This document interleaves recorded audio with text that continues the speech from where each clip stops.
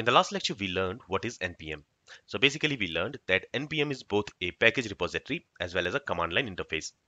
Now, using this command line interface, we can install and manage packages from the NPM repository. So in this lecture, we are going to see how we can install packages from the NPM repository. But before that, let's understand what are the different categories in which we can divide a package.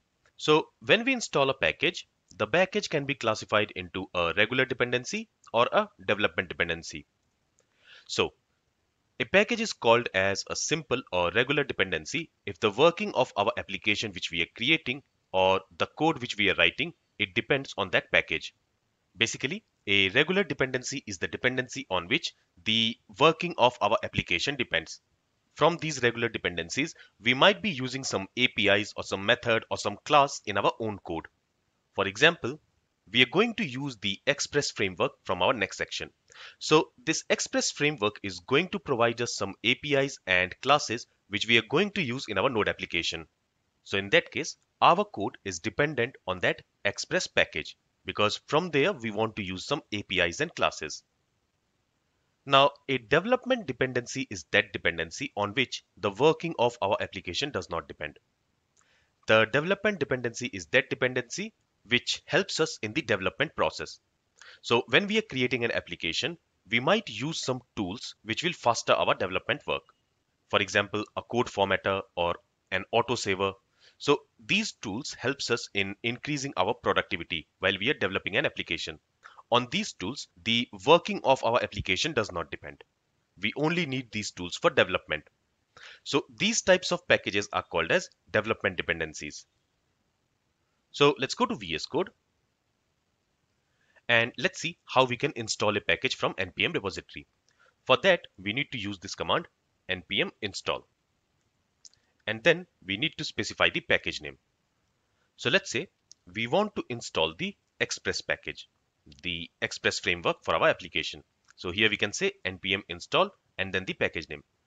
After that, we can also use this at and then we can provide the version of the Express which we want to install. So for, let's say if you want to install the version 4 of Express, then after this at you can specify 4. But if we don't specify this, in that case, the latest version of this Express package will be installed. If I press enter, this terminal, this CLI is going to download and install Express from the node repository. So you will notice that this Express has been installed and here in the package.json file, you will notice that a new field called dependencies has been created. And inside this dependencies, this express has been listed. So here, this express is our dependency. It is a regular dependency. It is a dependency on which the working of our application is going to depend. And that's why it is inside this dependencies section. Now, if you have noticed, when this express got installed, a new folder in this project folder tree has been created. And that folder is this node underscore modules folder. So basically, whatever package we download and install from npm repository, we are going to have it stored inside this node modules folder. If I expand this node modules folder, here you will see all these files and folders. So these are all the dependencies now. Basically, since I have installed Express for this project, you can see inside this node modules folder, we have this Express folder. And here we have all the files related to this Express package. Now internally, this Express package also has its own dependencies. So it also needs some dependencies on which the working of this Express package depends. So all those dependencies are also listed here. And if these dependencies has their own dependencies, then that will be also installed and stored here inside this node modules folder.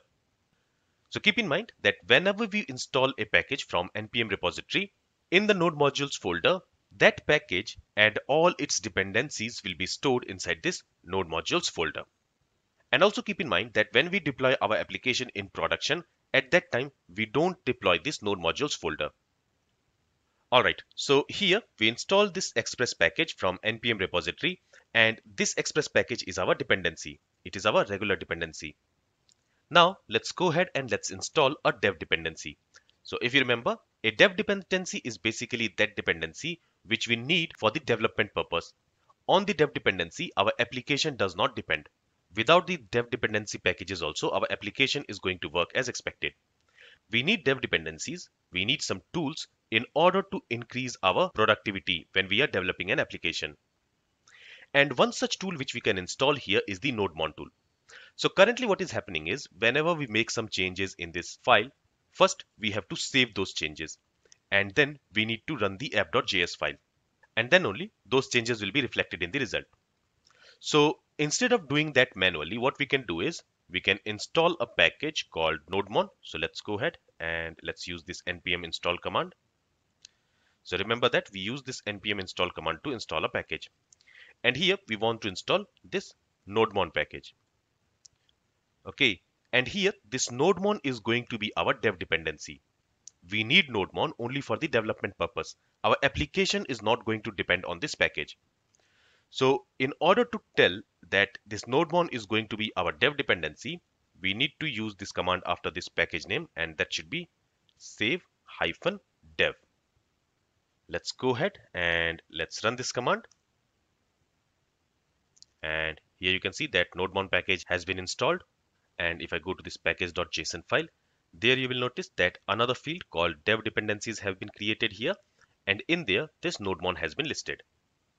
So here we have installed two packages. The first package is this express package, which is our regular dependency. And the second package is this nodemon package, which is our dev dependency.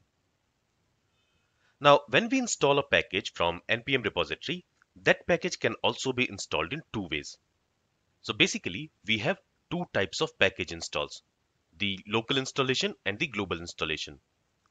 In case of a local installation, the package is only available in that project folder where the package is installed. It cannot be used outside of that folder. But in case of global install, the package is installed globally in the machine and it can be accessed from any folder or any project directory. Here we have installed this Express and this NodeMon package locally. That means these two packages will only be available for this Node.js Basics project. If I try to use this Express and this NodeMon in any other project, there I will again have to install it. I cannot use these installations in another folder, in another project. But there might be some packages which you would want to install globally because you might need it in all your projects. For example, this NodeMon. We might need this NodeMon package in all our Node projects.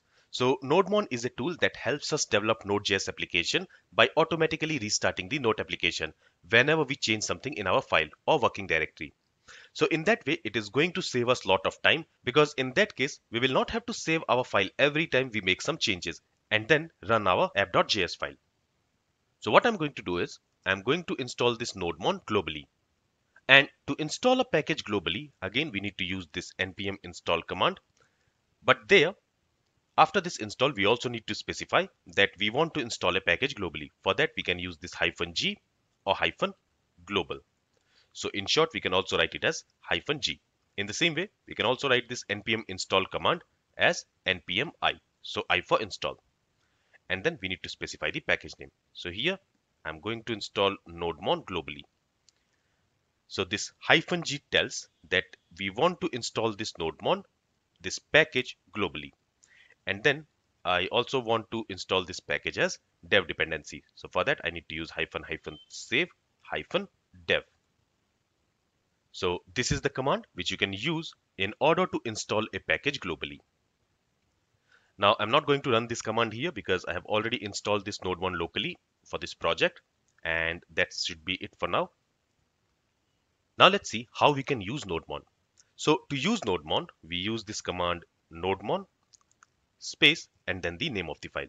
So here, let's say I want to run this app.js file. For that, I can say app.js.